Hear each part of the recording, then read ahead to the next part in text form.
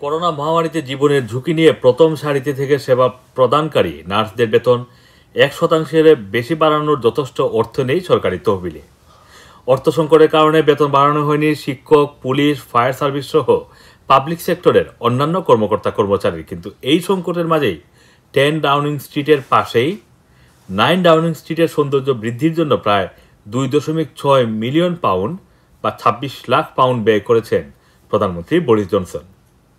White House স্টাইলে media ব্রিফিংয়ের জন্য দুই দশমিক ছয় মিলিয়ন পাউন্ড ব্যয় করে নাম্বার নাইন ডাউনিং স্ট্রিটের সৌন্দর্য বৃদ্ধি করা হয়েছে। এখানে লাইভ টেলিভিশনে প্রধানমন্ত্রীর press secretary Allegra Stratton White House স্টাইলে নিয়মিত সংবাদ ব্রিফিং দিবেন।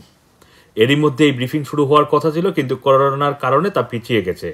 নতুন এই মিডিয়া সেন্টারটি সাজাতে সর্বমোট ছাব্বিশ লাখ সাত হাজার সাতশো সাতষট্টি পাউন্ড ব্যয় করা হয়েছে। এর মধ্যে অবকাঠামোগত পরিবর্তনে ব্যয় হয় এক দশমিক আট মিলিয়ন পাউন্ড। আর এই দীর্ঘমেয়াদী আসবাবপত্র ক্রয়ে ক্রয়ে প্রায় দুইশো হাজার পাউন্ড এবং দ্রুতগতির ইন্টারনেটের জন্য প্রায় তেত্রিশ হাজার পাউন্ড ব্যয় করা হয়।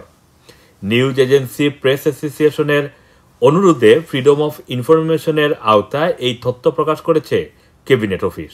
এদিকে লেবার পার্টি এর সমালোচনা করে বলেছে এটি প্রধানমন্ত্রীর বিলাসী প্রজেক্ট।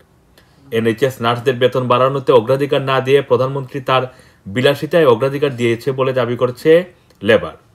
নার্সদের মাত্র এক শতাংশ বেতন বৃদ্ধির প্রতিবাদে কর্মবিরতিতে যাওয়ার হুমকি দিয়েছে নার্সদের ইউনিয়ন। আর সরকার বলছে তারা তাদের সামর্থ্য অনুযায়ী এই বেতন বৃদ্ধি করেছে।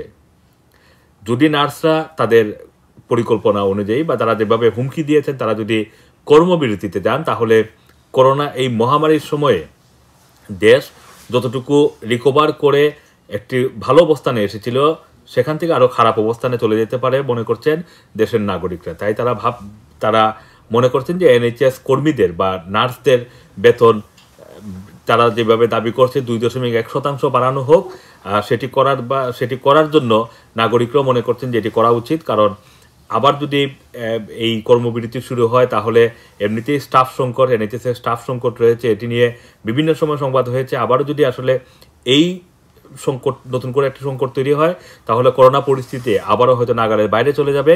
প্রত্যেকদিন হয়তো মৃত্যু বা আক্রান্তের সংখ্যা আবারও বাড়তে থাকবে। এরই মধ্যে আপনারা জানেন যে ব্রাজিল ধরনটি যুক্তরাজ্যে প্রবেশ করেছে। তবে ভালো খবর হচ্ছে, পালিয়ে যাওয়া বা যে রুগীকে পাওয়া যাচ্ছিল না, তাকে শেষ পর্যন্ত এনএইচএস তাকে শেষ পর্যন্ত পেয়েছে এবং তাকে চিকিৎসার আওতায় নিয়ে আসা হয়েছে। তো সবাই ভালো থাকবেন সুস্থ থাকবেন নিরাপদে থাকবেন।